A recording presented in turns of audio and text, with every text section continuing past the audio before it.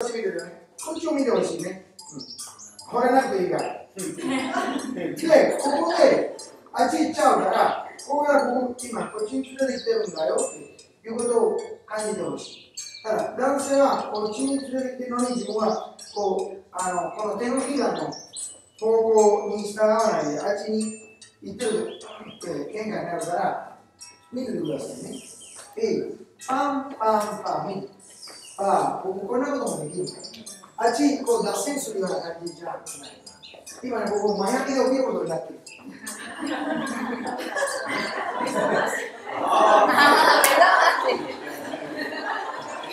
ちょっと待って、起きました。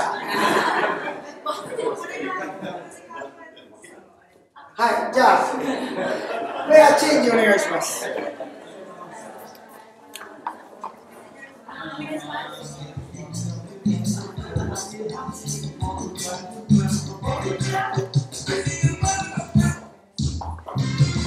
よ。おおおおあ。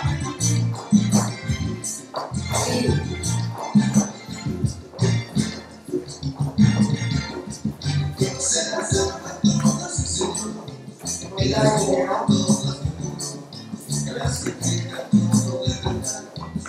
OK、見てください。これをこうやってもらいます。これはスタイルされ使う。逆側。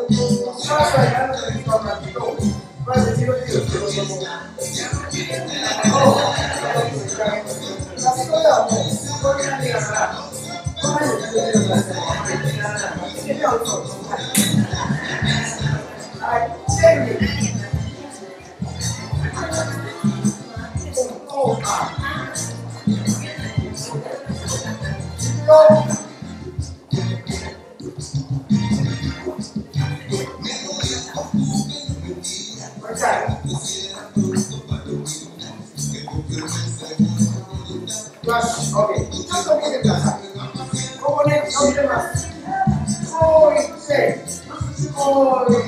今、そうな、